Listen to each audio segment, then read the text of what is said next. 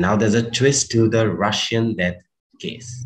The Chennai police is all set to assist Calangute police into the death of a Russian Alexandra. She was a model and worked in a few South Indian movies. And she had earlier complained of sexual harassment two years back. A 24 year old Russian woman, that is Alexandra Djavi, who accordingly to the local police hung herself from the ceiling fan in a rented home in North Goa village on 19th August and had previously harassed in Chennai in 2019 by a photographer for sexual favors. A lawyer from the Russian consulate in Mumbai said that the Goa-based lawyer Vikram Varma also said that the post-mortem of the remains of Djavi, as well as the 34-year-old actor Ekaterina Titova, who was also found dead in her apartment in a separate incident which could conduct a presence of Russian consular officials soon. Now, the Goa police has, however, not mentioned the Chennai angle and whether they would question the photographer in Chennai about these two deaths. One is a 24 year old and one is a 34 year old Russian national. Now, we are waiting for further information on them. Regarding the 24 year old Alexandra, we have received information that uh, she had been blackmailed in 2019 for sexual favors. And after a preliminary inquiry, the Chennai police had registered an FIR. But this is preliminary information, and we hope that the Goa police can investigate the matter thoroughly and rule out any possible, possible suspicion in her death. So these days? Now we are expecting officers diplomats from the consulate to be visiting Goa in September. Mm. So they will look into the matter. It may have any post-mortem going now? No, I believe uh, the clearances and all have to be taken. The family has to be informed.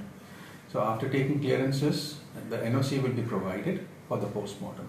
Until then, I am informed that the bodies have been safely put in the GMC. But how are you seriously seen on these uh, two incidents? Matter of death, where, and especially where the death involves a young person, the levels of suspicion have to be very high.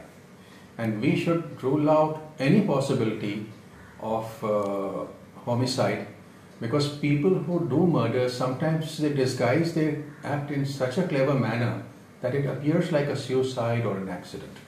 On 19 August 2021, we had received information regarding the death of two ladies of Russian nationality uh, in the area of Shivolim of uh, PS Anjuna.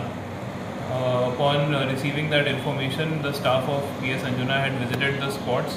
Uh, while one of the females who was 24 year old holding a Russian passport was uh, found to have died prima facie cause of death uh, was ascertained as hanging and in the other case a 34 year old Russian passport holder lady was uh, found dead uh, in her bedroom. Uh, in both cases uh, we have uh, we have we are following the legal procedure which is we have informed the embassy to appoint a representative an inquest proceeding in the meantime is ongoing uh, once the representative is assigned further medical legal formalities such as the post-mortem examination will be conducted in the meantime, uh, we are not suspecting any foul play as of now. However, uh, we will wait for statements from the representatives and the final decision on the cause of death by the medical legal examination. As I said, postmortem will be conducted in the presence of representatives of the Russian embassy. Uh, so we have already written to the Russian embassy to appoint representatives for for the medical legal formalities. Uh, once uh, the representatives are here, we will be conducting uh, the post-mortem examination. So both, what about names? Uh, one uh, of them is by the name of Alexandra uh, Rijavi and the other one 34 years is by the name of Ekaterina. So both has an Anjuna residency, otherwise They were both residing in Anjuna.